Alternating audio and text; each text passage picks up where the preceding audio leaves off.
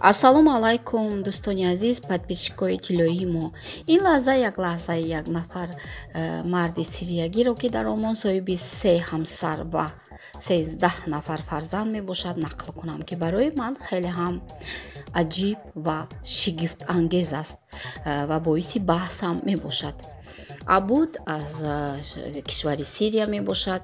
Дар ҳамон ҷо бо ин се нафар издивоҷ кардааст яъне соли 2006 бо реа ки онҳо се фарзанд доранд ҷамъа чордаҳсола абдураҳмон ёздаҳсола абдураҳим ҳафтсола хали нӯҳсола яъне ки онҳо чор фарзанд доранд аз ҳамсари якум. Аз ҳамсари дуюмаш соли 2009 эбтисам кати издивоҷ мекунад ва шаш фарзанди дигар дорад. Абдуразоқ нӯҳсола абдулбасит ҳафтсола сиҳам шашсола абдулбарӣ панҷсола қамар сесола абдумалик яксола соли 2013 бори сеюм издивоҷ мекунад ки ҳамсари ӯ нурия ном дорад.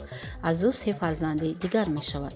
Ложем панҷсола абдурауф дусола марьям яксола айни замон ин нафар абуд бо се зан ва сездаҳ фарзанди худ дар олмон зиндагӣ мекунад. Ва агар имкон шуд ман дар бораи онҳо видео мекунам ба шумо нишон хоҳам дод. Зиндагии оромонаи онҳоро ки хеле одамонро миллатҳои гуногунро ба як ҳайрат овардааст вале хонаҳо ҷудо ҳастанд яъне дар хонаҳои гуногун зиндагӣ мекунанд. Ду зани зани якуму зани дуюм дар як дом зиндагӣ мекунанд. Зани сеюм каме дуртар аст. Ва абуд бо онҳо яъне бо навбат рафта ҳамроҳи занҳояш меистад.